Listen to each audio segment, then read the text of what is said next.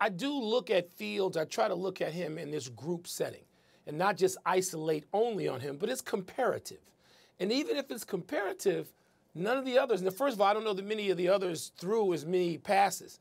I mean, the kid in New England who's backing up Cam, he looked terrific on certain passes, intermediate passes, a gun of an arm, which, you know, I don't know that people talk about that as much as his sense of pocket awareness and blah, blah, blah. But Tone, and yes, I'm biased. Justin Fields. Yeah. I mean, you know, I mean, in, in the running, he ran twice. and He only ran twice, Tone. He looked like a miniature Usain Bolt.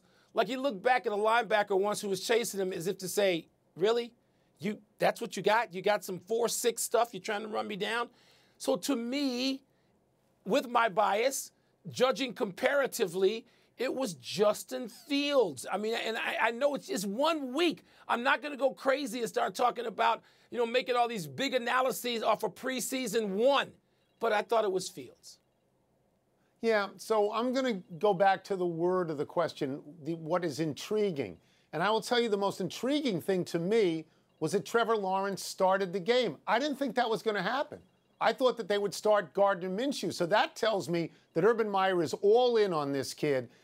And he's going to take his lumps because that's a bad team. That's going to be like Joe Burrow last year in Cincinnati. That's not going to be easy to turn around. I'm going to leave Justin Fields to you. I know you're going to live and die with him. He's your account. I'm going to stay away from this. But thank you for mentioning Mac Jones. Because although he wasn't in the lead of the question because we saw him last week, Mac Jones looked good. He got rid of the ball and it went where it was supposed to go. And Mike, I don't believe that Bill Belichick would have drafted that kid if his good friend Nick Saban hadn't said to him, Bill, he can run your offense right now.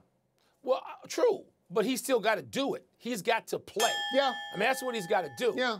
And so, I'm, again, I'm looking at all of them. And right now, Tony, what's amazing as a Chicago Bear fan for more than a half century is I'm not looking jealously at the others because usually that's what I have to do. I, all of right. us in the ground behind, you see the, the river behind us, all of us have to go in jealously saying, wow, I wish we had that kid. Or so, wow, I'll why did we you, draft I'll tell you kid? this. Here is what is intriguing about Justin Fields and Trey Lance.